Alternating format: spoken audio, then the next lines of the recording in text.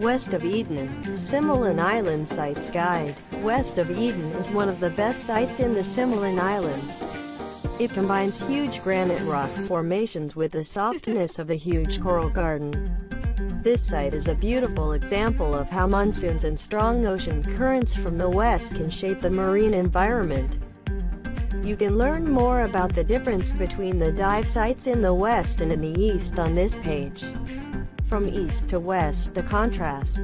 West of Eden Overview West of Eden is located west of Similan Island number 7, with only neighbor the vastness of the Andaman Sea. The main attraction of this site is this great canal, covered on both sides by huge gorgonians. This site is ideal for seeing ribbon moray eels, mantis shrimps or even antennas. Huge boulders of granite are a major feature of the sites west of the Similan Islands. These impressive formations contrast with the sloping coral reefs found on the east side. But why do the dive sites in the east and west of the Similan Islands have such a difference in their topography?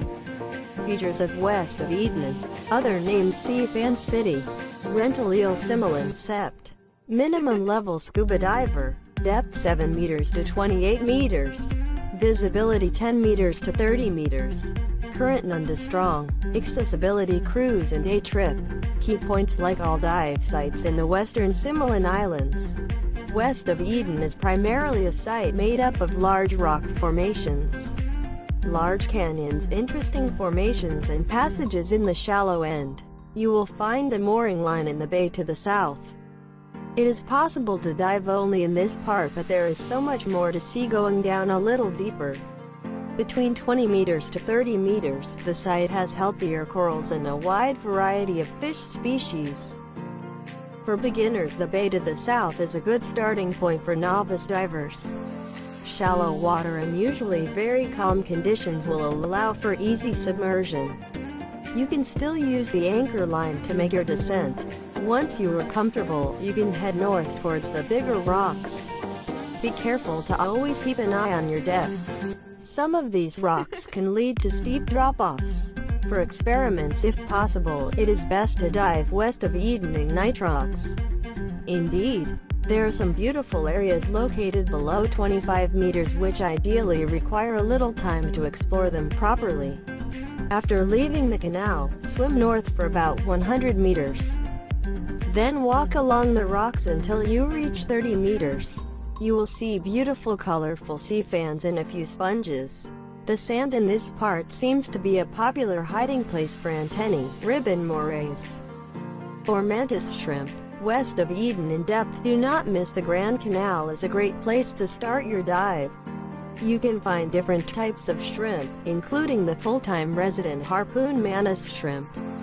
Gorgons line the walls generously. At the exit of this channel take a good look at the neighboring coral heads the morays are always ready for a frenzied game of hide and seek. The area around this canyon is often the most memorable part of your dive. Topography large blocks of granite forming canyons and strangely shaped passages. A coral garden for a note of sweetness. This charismatic site will not leave you indifferent. Further information conditions west of Eden is generally fairly calm, but given its location wind and waves can sometimes be present. The current can be quite strong in the northern part of the site. Your dive will then turn into a drift dive.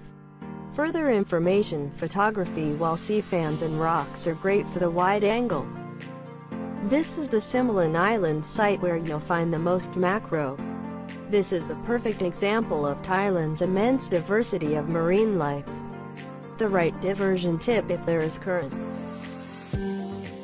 You may have less time to explore the interesting areas but you will have so much fun that it is not a problem in itself. Due to its shape, currents heading north always seem stronger than those heading south. Immerse yourself the anchor line located in the southern bay. From there, let yourself be carried over the rock formations and coral gardens, a unique sensation. Watch the coral unfold under your fins. It is possible that tuna and trevally will disturb your vision.